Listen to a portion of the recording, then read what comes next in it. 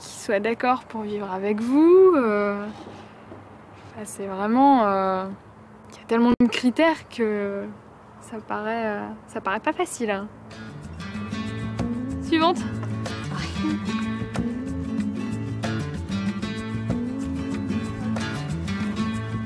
On prend la même et on recommence.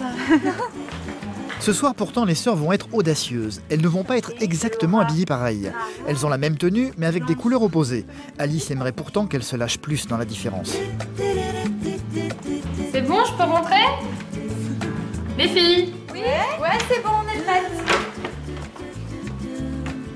Alors, comment tu nous trouves?